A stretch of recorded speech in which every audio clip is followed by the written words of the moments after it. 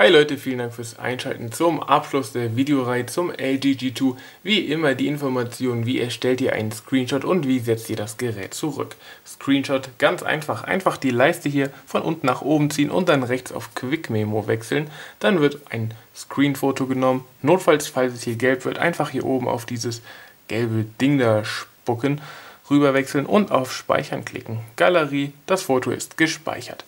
Alternativ könnt ihr ganz einfach hier unten auf ein aus Power und die Runtertaste gleichzeitig drücken für ein, zwei Minuten und dann ist auch das geschehen.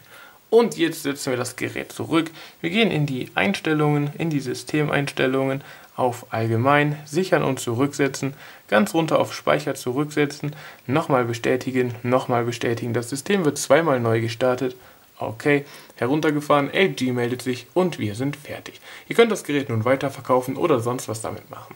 Das war's von mir. Vielen Dank für eure Zeit. Macht's gut. Ciao.